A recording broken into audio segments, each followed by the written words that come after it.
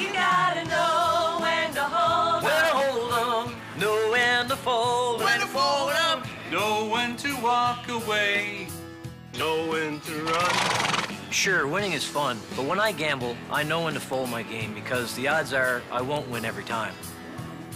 No matter what games they play, Nova Scotians know that if they're going to gamble, they're going to gamble responsibly. this message brought to you by the Nova Scotia Gaming Corporation.